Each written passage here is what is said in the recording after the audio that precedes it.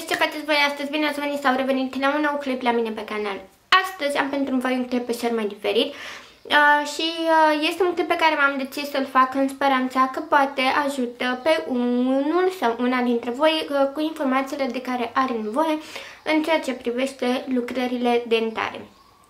Uh, după cum bine știți, am început de ceva timp lucrările dentare, uh, de ceva timp cam de o lună uh, și progresăm destul de repede, asta pentru că am găsit o echipă de doctori absolut minunați, uh, o pereche de doctori care lucrează foarte bine, care sunt foarte grijuli uh, și care uh, îți dau încredere în ei atunci când pășești pragul cabinetului lor. Uh, momentan nu o să vă vorbesc despre cum se numește clinica, sau lucruri de genul acesta. Lucrurile astea le vom vorbi abia după ce se va sfârși uh, toată lucrarea dentară, pentru că încă sunt în perioada extracțiilor și nu știu cum vor evolua lucrurile, așa că nu aș vrea să mă grăbesc să mă să mă pripesc în a vă recomanda clinica respectivă, dar vreau să vin în ajutorul vostru cu câteva informații utile, uh, câteva informații pe care și mie mi-ar fi plăcut să le știu în momentul în care acum câțiva ani m-am apucat efectiv de lucrarea dentară și am abandonat-o Uh, din pricina medicilor care s-au ocupat de ea. Uh, asta fiind menționate, o să vă spun uh, pe scurt cum am ajuns la această clinică, cum am făcut cunoștință cu medicii și așa mai departe. Um, după ce am născut, situația dantorii mele s-a agravat în sensul în care în perioada alăptării aveam Uh, perioade cu infecții dentare, perioade care erau foarte dureroase și singurul calmant pe care îl luam în adaptare era paracetamolul uh, și de altfel cure de antibiotic ca um, infecțiile să dispară uh, de la locul faptei. Așa că um, soțul meu, având cunoștințe în domeniul medical, mă rog, un prieten care este asistent medical, a vorbit cu el despre problema mea cu situația dentară, iar acesta într-o conversație i-a spus, băi, ceva știu eu, un medic dentist. Cum pornesc toate conversațiile de altfel. Așa că zi și făcut, uh, mi l-a dat la telefon, i-am explicat care a fost situația, cum am ajuns să rămân fără dantură, ce s-a întâmplat și așa mai departe. Uh, el a vorbit mai departe cu prietenul său care era medic dentist uh, și a ajuns amândoi la o concluzie Uh, și această concluzie a fost de a face cunoștință cu doamna doctor care se ocupă în prezent de lucrarea mea dentară. Um, cu doamna doctor, o să-i spun doar prenumele Gabriela, am avut o discuție foarte interesantă. Este un medic care este destul de în vârstă, dar, uh, mă rog, în vârstă, pe la vreo 50 ceva de ani, dar uh, este o persoană extrem de empatică și extrem de grijulie, o persoană care um, își dă silința și e foarte atentă la ceea ce face. Și um, mi-am povestit în mare parte cam care a fost situația. Dânsa acasă se poate lămuri și se poate vorbi și dânsa cu un endocrinolog, cu anestezie și așa mai departe, pentru a vedea ce anestezie poate să administreze și etc. Uh, m-a rugat să îi aduc, uh, dacă mai am, uh, foile de internare din spital, uh, legat de problema mea cu suprarenalele, ca să se poată consulta și dânsa cu un endocrinolog în privința a ceea ce trebuie să facă. Zi și făcut, i-am dus acele foi, am uh, discutat pe larg despre ce anume s-a întâmplat, ce tratament am luat, cum am luat, care a fost diagnosticul de bază, așa că împreună am luat decizia de a mi se da să fac uh, niște analize de sânge pentru a se asigura că totul este ok. Analizele de sânge au constat în cortizol seric pentru că aveam nevoie de el înainte de începerea lucrărilor, să știu în ce stadiu mă aflu cu cortizol seric. Uh, vitamina D25OH pentru că vrea să vadă densitatea osoasă pe care eu o mai am și cantitatea de vitamina D pe care eu o am în sânge și din păcate la vitamina D stau cam prost. Uh, bineînțeles că mi-a dat o hemoleucogramă completă de făcut. Uh, vitamina C reactivă, viteza de coagulare, viteza sângelui, uh, timpul de prototrombină quick, care este timpul în care uh, sângele tău se coagulează în cazul unei uh, răni deschise. Am făcut aceste analize, am ieșit ok, am dus analizele doamnei doctor uh, și mi-a zis că din punct, de vedere, din punct de vedere al analizelor și al radiografiei. Din păcate toate rădăcinile trebuie scoase. Asta pentru că în timp vor dezvolta infecții și pentru că ele sunt pur și simplu deshidratate, adică putrezite pe românește. Uh, oricât de oribil ar suna asta. Uh, mie mi-a fost foarte frică de extracții, acum nu mai este pentru că am avut cea mai plăcută experiență pe care, am putut să, pe care a putut să o aibă un om cu extracțiile și o să vă povestesc imediat. Um, S-a mai uitat încă o dată pe radiografie și a zis ok, până să începem să facem extracțiile, o să te trimit să-mi faci și o tomografie dentară pentru a vedea densitatea osoasă, uh, să vedem dacă osul de maxilare are nevoie de uh, are nevoie să îl suplimentăm, să creăm o bucată de os sau este suficient osul tău de maxilar și să vedem uh, și cum se situează rădăcinile dentare. Așa că zi și făcut, mi-a dat trimitere la o clinică pe care ea o cunoșteam uh, și m-am dus și mi-am făcut o tomografie dentară. A fost totul foarte rapid, uh, fetele s-au mișcat foarte repede, n-am simțit niciun fel de disconfort. A fost foarte ușor să fac o tomografie dentară, practic ți se dă să ții între dinți o bucată de tifon timp de 30 de secunde în care un aparat se învârte în jurul capului tău ca o radiografie de panoramică, dar Aparatul are puterea de vedea mult mai mult în profunzime și de a măsura craniul, densitatea osoasă din uh, toată partea craniului, nu doar uh, din partea maxilarului și așa mai departe. Am făcut și acea tomografie, a ieșit rezultatul și mă sună o domnișoară tare drăguță de la cabinetul doamnei doctor și îmi spune, doamna Vâlcu, haideți să programăm extracțiile. Um, I-am spus uh, dacă aș putea înainte să merg la doamna doctor să mă vadă din nou, pentru că eu luam antibiotic deoarece aveam o infecție la unul dintre dinții ăștia de pe aici. Uh, și uh, doamna, doamna doctor a zis că sigur că da, pot să merg să mă vadă. Am fost și m-a văzut. Între timp, uh, cât timp am făcut aceste investigații, eu am fost pe antibiotic, uh, fiindcă și deoarece aveam niște dureri cumplite în partea asta care mi se duceau până în cap, știți și voi că am făcut daily vlog, uh, și a trebuit să iau antibiotic și alcocalmin ca să mi se ducă durerile. Am ținut cura pe care mi-a dat-o doamna doctor. Uh, am fost la dânsa, m-a văzut, infecția pe locul respectiv se ameliorase, așa că am programat primele extracții zi și făcut, am fost la primele extracții.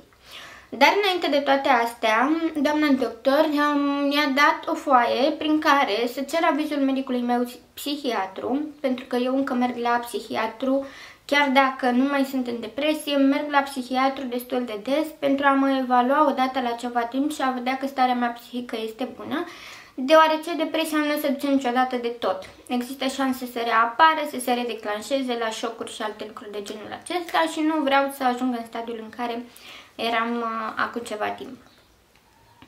Și mi-a dat o foaie la mână prin care cerea acordul medicului psihiatru să îmi administreze o jumătate de pastelă de dormicum înainte de extracții, ca să nu îmi provoace un atac de panică de la anestezia cu adrenalină, iar eu să fiu liniștită, zen și să nu mă panichez și lucruri de genul acesta, pentru că i-am explicat că nu mi este frică neapărat de extracții sau de medic dentist, de dânsa în sine, ci că am fost traumatizată de un medic dentist în, înainte să mă duc la ea, care mi-a făcut o hemoragie destul de vurită doar pe o obturație de canal.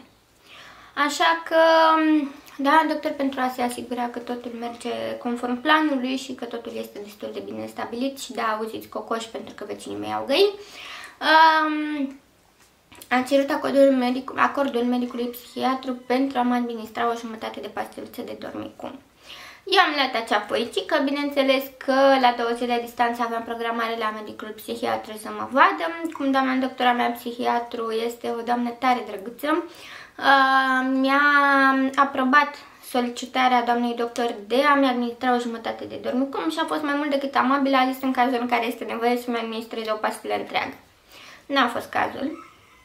Uh, apoi, în ziua extracției m-am prezentat cu foaia de la medicul psihol, uh, psihiatru, i-am dat-o asistentei doamnei doctor, asistentei adus-o doamnei doctor, la vreo două minute au venit la mine cu pastiluța de dormicum, cu o jumătate de pastiluță. Eu îmi pisez pastilele, știu că nu este bine, dar nu le pot înghiți, mai ales pentru că în lipsa danturii degluziția mea este destul de mult afectată, așa că orice aș încerca să înghit bucăți mai mari, mă cu ele, așa că evit să fac lucrul acesta și pisez pastiluța. Le-am explicat și am întrebat dacă se poate să dea un colțișor de măsuță unde să-mi pisez și o pastiluță să pot să o iau. Fetele au fost mai mult decât amabile, m-au ajutat să pisez pastiluța, mi-au adus două păhăruțe cu apă, unul care să dizolv, unul cu care să o beau. A fost totul foarte, foarte ok. Am luat pastiluța, am mai stat cam 15 minute, după care m-am așezat pe scaunul de, de dentist. Um, asistenta doamnei doctor, la fel, o doamnă de, în vârstă, dar extrem de amabilă și de drăguță, doamna Mihaela, um, a început să vorbească cu mine, m-a întrebat cum sunt, ce am făcut în ziua respectivă, Uh, mi-a spus o să-ți spun acum un șervețel la gât, să nu te sperii, că nu se întâmplă nimic, sunt aici cu tine, pornim apa ca să putem să scuipăm și să clătim și așa mai departe. Uh, după care a venit doamna doctor și foarte zen și amabilă, ce faci fată, cum mai ești, uh, ce ai făcut astăzi, pregătită de extracție, e zen, nu e zen, lucruri de genul acesta. Uh, și uh, în timp ce vorbea cu mine mi-a dat cu o pastă la baza gingiei și la baza buzei pentru a mă amorți ca să poată să-mi facă injecția cu anestezie și să nu simt atunci când pur și simplu face injecția, un lucru pe care l-am apreciat enorm de mult faptul că m-a amorțit cu lidocain înainte să o facă injecția propriu-zisă, pentru că, în general, nu mi-e frică neapărat de extracție, cât de injecție în sine. Bun. Am mai așteptat două minute, am mai vorbit cu mine, timp în care amorțisem și apoi a început să-mi facă anestezia din aproape în aproape, ceea ce înseamnă, o să vă explic ce înseamnă o anestezie din aproape în aproape, pur și simplu la un minut distanță se injectează o doză mică de anestezie la rădăcina fiecărui dinte pe care vrei să îl scoți. Asta înseamnă o anestezie din aproape în aproape, nu poc, poc, poc, poc, poc, poc, poc, anestezia și gata, nu. A făcut puțin anestezie, a amorțit un, o parte de gingie, un dințișor. A mai făcut un pic de anestezie, a mai amorțit un dințișor și tot așa până când mi-a amorțit toată partea de aici, de jos, din față, asta, pe care eu o am scoasă. Um, și s-a asigurat că nu mai simt nimic. Evident că botul meu s-a umflat, buzele mele s-au, buza de s-a umflat, se făcuse cât casa poporului și am întrebat-o dacă efectul ăsta rămâne, să știu dacă o să am botox și sus și jos. Evident că a venit râsul și a zis că o să rămână doar senzația de buză umflată, buza umflată nu o să rămână. Și am zis ce păcat că um, credeam și eu că o să rămân și cu botox după lucrarea dentară, nu doar cu dinți. Uh, Mi-a amorțit locul, au pornit aspiratorul cu care aspiră, dar doctor a luat un cleștișor, n-a fost nevoie să taie gingia sau lucruri de genul acesta pentru că dinții mei au ieșit foarte ușor, rădăcinile mele au ieșit ușor. Uh, și nu a fost nevoie să taie efectiv gingia sau să o remodeleze, ci pur și simplu apăsa puțin cu cleștișorul pe rădăcină, după care când ridica, dintele ieșea. Și a scos unul și că ia uite ce repede iese. Am scos deja unul. După aia mi-a aspirat doamna asistentă ca să fie sigură că nu am bale sau chestii cu care să mă nec și sânge.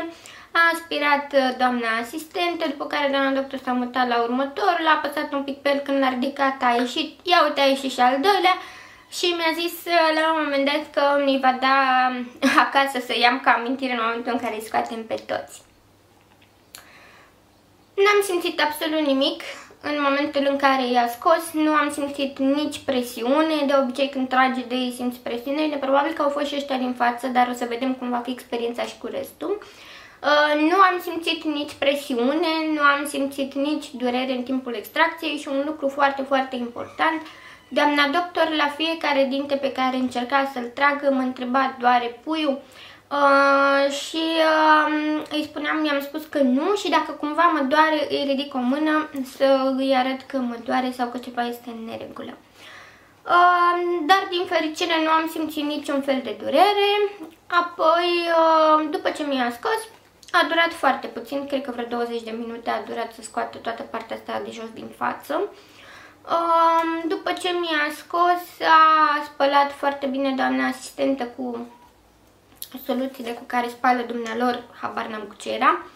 Uh, și mi-a aspirat, iar doamna doctor, uh, ce mi s-a părut foarte interesant, ca eu să nu mai stau cu pansament în gură după ce plec de acolo și să rămân fără salivă, uh, pe măsură ce extragea fiecare dinte, în același timp punea în locul extracției o meșă. Să vă explic ce este. O meșă este o bucată de tifon care se pune în general de la operații de tip găuri, ca locul uh, respectiv să se vindece de jos în sus și să nu facă infecție la bază, să nu se prindă în vârf și să rămână pungă de infecție în bază. La fiecare dinte scos, doamna doctor punea o meșă ca locul să se vindece din interior spre exterior. Apoi, evident, a cusut, mi-a zis, stai liniștită, e totul ok, i-am scos, nu sângerez mult, e totul perfect, acum o să cos și mi s-a părut o fază foarte amuzantă pentru că um, mi-a spus că ea când era în școală nu făcea goblen, dar face acum pentru că încearcă să mă coasă cât um, mai frumos și asta a și făcut. Sunt extrem de mândră de cum arată gingia mea din față și cusătura mea din gură. Uh, mai mult de atât, eu mai aveam câteva punguțe de infecție la baza rădăcinilor, mi le-a curățat și pe acelea. Am băut și o cafea înainte de anestezie, țin să menționez, înainte de anestezia cu adrenalină, mi-a spus că în dimineața respectivă pot să beau o cafea, că nu se întâmplă absolut nimic. Am băut, anestezia a prins, n-am avut atacuri de panică, n-am avut absolut nimic, totul a decurs absolut normal. Nu am avut dureri, nu, nu. Deci n-am simțit absolut nimic la extracție, nu presiune, nu durere, nu nimic. Um, apoi a început să coasă și pur și simplu a cusut meșele acelea înăuntru ca tot sângele să se îmbibe acolo și să nu mai fie nevoie să stau eu cu pansament în gură. Uh, și mai mult de atât ca locul să se vindece din interior spre exterior. Apoi uh, doamna doctor mi-a spus să um, urmez câteva instrucțiuni. Uh, mi-a făcut extracțiile la 4, nu, la 3 și jumătate și mi-a zis că până la 8 seara să nu mănânc și să nu beau nimic. Ceea ce am și făcut. Um, și uh, asta în timp ce cosea. Uh, să nu mănânc lactate și să um, nu mănânc sau beau cald. Uh, și să vă explic uh, pe rând. De ce nu trebuie să mâncați nimic după extracție? Pentru că, evident, la, pe locul respectiv se a desfășurat o intervenție chirurgicală, ceea ce înseamnă că orice fel de presiune poate duce la sângerare și trebuie lăsat locul să se oprească din sângerat. În general, acest lucru durează cam 2 ore, dar la mine a durat un piculeț mai mult, a durat cam până pe la vreo 10 seara dar n-a fost asta o problemă.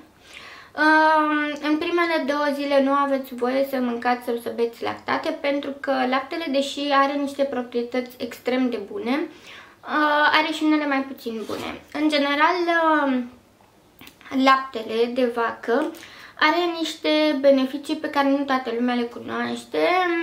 Pur și simplu anihilează efectul medicamentelor și efectul otrăvurilor din corp. Uh, țin minte de la bunica mea că atunci când cum adunau ciuperci din pădure și mâncau și se întâmpla ca ele să fie otrăvitoare, pac un litru de lapte și nimeni nu mai avea nimic. Nu încercați asta acasă, da? Deci nu încercați acasă. Uh, dar uh, este demonstrat că proteinele și probioticele care se găsesc în lapte ajută în tăierea efectului de uh, o travă, fie că este vorba de o travă care îți poate pune viața în pericol, fie că este vorba de medicamente uh, analgezice, antiinflamatoare, antibiotice. Și din acest motiv nu ai voie să mănânci uh, lactate atâta timp cât iei antibiotice sau uh, medicamente pentru a te calma, pentru că el, laptele taie efectul acestor medicamente. În ceea ce privește extracțiile, laptele nu este bine să-l mănânci pentru că, deși el are proprietatea asta destul de benefică și ajută la refacerea florei bucale și intestinale atunci când îl bem, uh, și este un foarte bun pansament gastric, uh, el are și o proprietate mai puțin plăcută și anume uh, creează candidoză bucală, acele, nu știu dacă ați văzut și la bebeluși, am observat asta pentru că, na, uh, bebelușul meu a subt, uh, a mâncat sân, a subt de la sân, uh, făcea din fel de scămuțe albe pe limbă care încreunau limbuța și trebuia în permanență să-l curez cu glicerină. Ei bine, laptele are rolul, rolul benefic în mare parte de a se depune pentru a crea o barieră, pentru a reface flora, dar dacă se depune în exces în cavitatea bucală, poate crea candidoze și poate duce la infecții și uh, din această cauză nu este bine să mănânci uh, lactate uh, după operația de extracții dentare, după obturare de canal sau după orice altceva, pentru că evident vei avea dureri după ce trece anestezia, pe lângă faptul că el uh, reduce timpul de acționare al anesteziei, adică taie efectul anesteziei, tai și efectul calmantelor pe care tu le iei și atunci nu ai voie să mănânci lactate. Iar la cald este foarte simplu, căldura în general, um, dacă este o rană deschisă, căldura, apa caldă sau orice mănânci cald provoacă hemoragii. Și mi-a făcut acest instructaj. Evident că după extracție a trebuit 3 zile să iau antibiotic pentru că mi-am montat meșele aici și erau niște corpi străini în gură și pentru a nu face infecții sub nicio formă a trebuit să iau antibiotic și a trebuit să iau ca și calmant algocalmin, dar n-am avut nevoie de câte două fiole. Uh, și între timp ce îmi povestea aceste lucruri a terminat doamna doctor și de cusut am putut să vorbesc imediat după extracții, n-am avut niciun fel de problemă. Într-adevăr vorbeam strâmb și acum vorbesc ciudat pentru că nu mai am partea din fața dinților, a rădăcinilor. Dar uh, a fost totul super ok, nu am simțit absolut nimic, nici când a cusut, nici absolut nimic. N-am stat cu pansamente în gură sau lucruri de genul acesta. Am ieșit pe hol uh, și mi-a zis să mai așteptăm 15 minute, după care mama mă va vedea din nou, se va uita să vadă cum arată locul extracției și apoi sunt libere să plec. Am mai așteptat 15 minute, cam după 10 minute am simțit că mă doare puțin și uh, i-am spus soțului meu că era cu mine, i-am spus lui Cosmin, mă cam doare și m-a auzit una din uh, fetele de la recepție și mi-a zis, vă doare? Și am zis, da, mă doare, dar nu rău, foarte puțin. Și când nicio problemă, vă aducem un algocalmin. Și mi-a adus un algocalmin fiolă, l-am băut. N-am simțit niciun fel de gust pentru că aveam uh, gustul de dentist în gură. Uh, N-am simțit cât era de amar, evident că l-am băut. A fost totul bine și frumos, apoi după 15 minute m-am pus înapoi pe scaunul de dentist, s-a uitat, era totul bine și frumos și am uh, plecat acasă. Uh, nu am avut dureri foarte mari când s-a terminat anestezia. Am avut... Nu știu cum să vă zic. Nu am avut durere cât am avut disconfortul că e ceva în gură, practic, de la meșele respectiv. Am avut o durere foarte mică, a trecut cu a doua fiolă de algocalmin, nimic altceva. Singurul lucru pe care l-am avut a fost o stare de greață pe la vreo 3 dimineața, dar am înțeles că este normal după anestezia cu adrenalină să ai stare de greață. Așa că am luat niște acadele de la farmacie Prevomit Kid și am lins la o acadea din ea uh, până când s-a dus senzația de greață și apoi m-am culcat. Pentru că nu aveam ce să fac. A doua zi a trebuit să mănânc lucruri puțin mai lichide și să evit lactatele, apoi din a treia zi am putut să mănânc normal, am putut să mănânc ciocolată, am putut să mănânc pufuleți, am putut să mănânc mâncare gătită blendată, dar uh, să nu mestec fix pe zona respectivă și evident tot de în a treia zi de la extracție ai voie să te speli pe dinți, plătești în gură după caz. Uh, după 10 zile de la extracție trebuie să mă duc să-mi scoată firele. Astăzi este joi, uh, eu ar trebui să mă duc undeva sâmbătă să-mi scoată firele și cam atât. O să vedem când îmi scoate firele dacă ne mutăm mai acate cu extracțiile.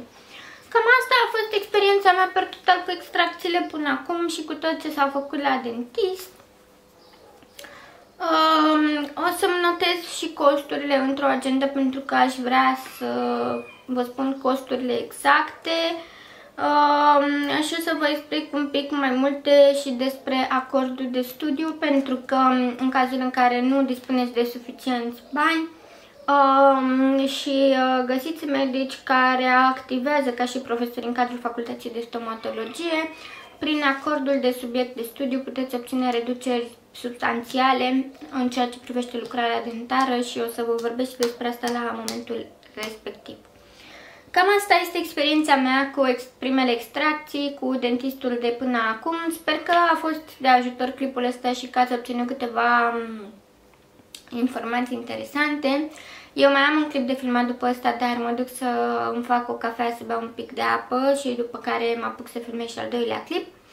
Uh, eu vă mulțumesc pentru vizualizare, nu uitați că pe mine mă găsiți și pe Instagram cu ID Mihaela Vâlcu 91 De altfel mă găsiți și pe grupul meu de Facebook Mihaela Vâlcu Beauty Vlog. Și nu uitați că dacă nu v-ați abonat până acum la acest canal, aveți uh, sub acest videoclip butonul de subscribe și de altfel, um, dacă v-a plăcut acest clip și vi s-a părut util, nu uitați să dați un like și un share pentru că, de ce nu, informația trebuie împărțită cu cât mai mulți oameni ca să știe și alții ce să facă în astfel de situații. Până data viitoare, aveți grijă de dinții voștri pentru că este extrem de important. V-am pupat!